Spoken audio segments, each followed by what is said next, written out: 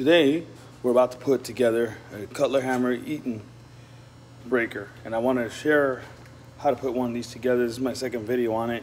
Uh, people were, have been requesting it, so I just wanted to uh, show a demonstration of one. Uh, this is a 150 amp breaker, but it's the same as the ones as a 400 amp breaker. Only the 400 amp breaker has double bars. This one, because it's only it's under 200 amps, it has only one one bus.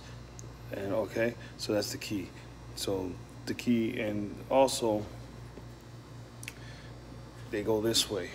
The right side gets it, the cuts are in. So the right side's to the right, and then the left side is is uh, inside. So here we go. It's, there goes the breaker, the big one. That's the 400 ampere. So they go like this. And I'm gonna assemble this together so you see how it's done. So basically, there you need a Phillips screwdriver, and this plate comes with it, and then it's got this isolating isolating pad. So what I always do is I build this part first. So and I leave it loose. I screw it in. I already got the screws in there, but I leave them loose so I can I can manipulate it any way I want, up and down, side to side. And it goes like this. The part that's indented goes inside toward the panel. So then I got my my bus, and these get screwed onto the bus. So this is gonna be like this. Upside this, uh, it's the bottom fed breaker. So the, the, my wires, my brown and yellow, are gonna come up from the bottom and feed this breaker. So that's important to know. And so I lay this here, and you got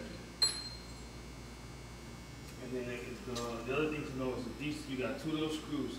These two little screws is one here, one here, and it gets screwed onto the panel. And then you got these three screws right here, and you have these screws. These screws go here, and then these screws screw this, screw here. So you stick this on here like so. This goes behind there. Come closer right here. When you come little closer, you'll see. So this goes behind there like so, inside of here. And then this gets screwed on. So the way we discovered do is we put it like this, and then we put this in there like that.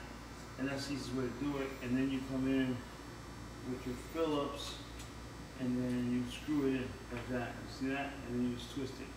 And you twist it on like that. And then that. And then once you do that, you take this, you get two screws here. I do it with a nut driver, but you take the Phillips and then you screw these two to those two right there. See those two holes right there? One up, one down. One up, one down, one up, one down. So this gets bolted down like that on this panel. So, and I'll give you an example of that once we get going.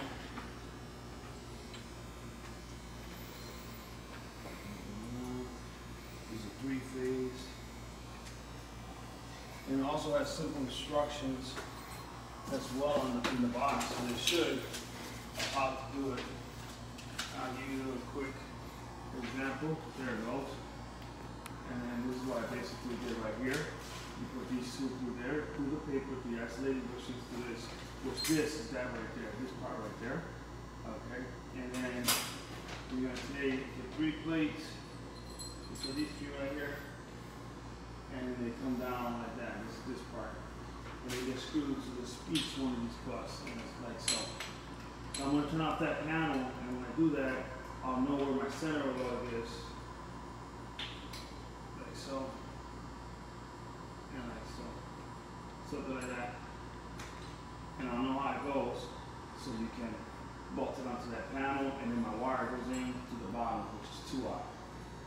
And that's how you put together a 150 amp Eaton Cutler hammer breaker for 200 amp or 250 and 200 amperes and 150 amps and 75 amperes.